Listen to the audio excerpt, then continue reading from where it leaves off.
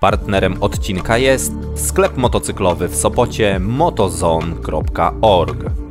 Aktualne promocje i oferty w opisie filmu.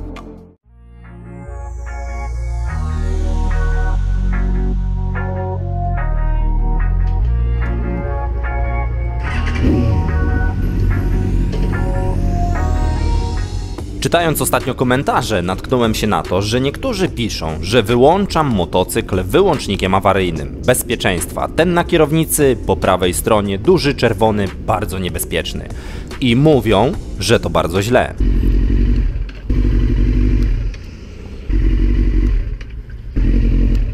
I choć często zdarzało się, że odpisywałem na te komentarze, że kompletnie nic nie dzieje się z maszyną, jak tak robię, a robię to bardziej z wygody niż z konieczności, to nadal takie komentarze pojawiają się. Dlatego w tym krótkim filmie powiem Wam, jak to jest z tym czerwonym guzikiem, czy aby na pewno możemy go klikać. Zapraszam na film.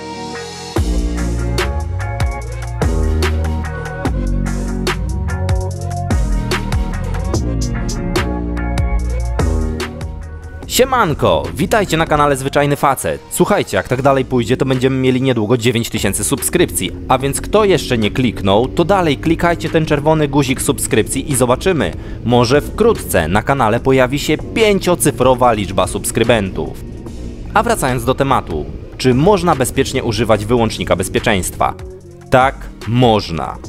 Czy szkodzi on silnikowi, elektronice, czy ma wpływ na środowisko i ocieplenie klimatu? Nie. Nic z tych rzeczy.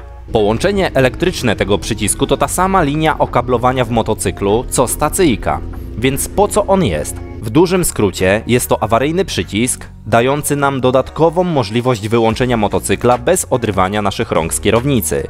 I może mieć on zastosowanie w różnych sytuacjach. Na przykład stoimy na nierównej drodze, obie nogi mamy na ziemi i prawa ręka trzyma hamulec, lewa ręka sprzęgło.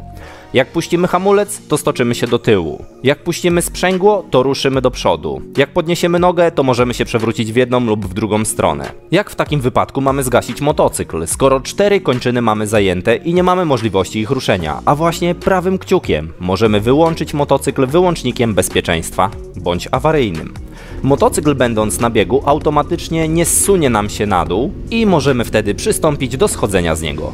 Inna sytuacja może być taka, że mieliśmy jakiś wypadek, motocykl koziołkował, leży w krzakach, nie mamy prostego dostępu do kluczyka. Chcielibyśmy go zgasić, w takim wypadku czy my, czy osoba postronna może po prostu podejść do motocykla i jeżeli widzi ten czerwony przycisk, to może go kliknąć i tym samym zgasić nasz motocykl. To samo tyczy się sytuacji, w której dajmy na to łamiemy nasz kluczyk. I co wtedy? Nie wyłączymy naszego motocykla? Poczekamy aż wypali się w nim całe paliwo? Nie, Wystarczy kliknąć i sprawa załatwiona. Mamy jeszcze trzeci sposób, w jaki możemy wyłączyć nasz motocykl i również ten trzeci sposób jest totalnie bezpieczny dla naszego silnika i nie powoduje on żadnych perturbacji po jego zastosowaniu. Wiecie co to za sposób? Wiecie co to jest? Dokładnie tak, to jest nasza stopka. Jeżeli z jakiegoś powodu nie możemy skorzystać z wyłącznika bezpieczeństwa czy stacyjki, a musimy zgasić nasz silnik, to wystarczy, że rozłożymy naszą stopkę boczną i motocykl zgaśnie.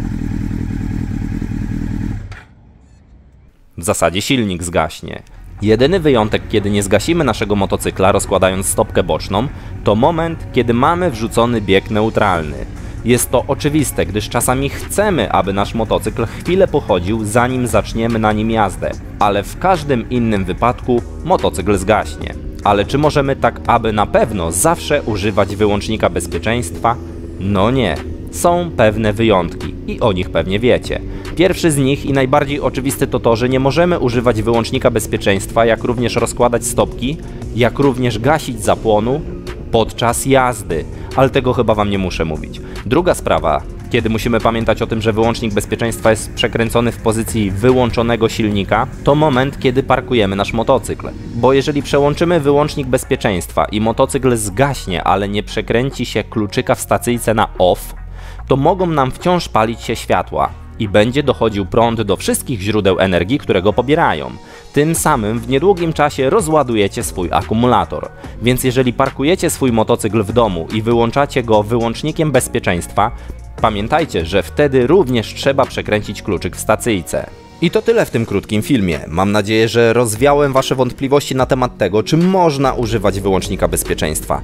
Wiem, że w instrukcji czasem jest napisane, że należy go używać tylko w awaryjnych sytuacjach. Ale sprawdźcie proszę swoje schematy elektryczne motocykli albo spytajcie się zaprzyjaźnionego elektryka motocyklistę. Na pewno powie Wam, że to samo co robi stacyjka, to samo robi wyłącznik bezpieczeństwa. Trzymajcie się ciepło i pamiętajcie, że dzięki uprzejmości sklepu motozone.org z Sopotu na hasło zwyczajny facet macie 10% zniżki na zamówienia telefoniczne, na zakupy w sklepie stacjonarnym oraz darmową wysyłkę od 200 zł. Szerokości na drodze, na razie cześć!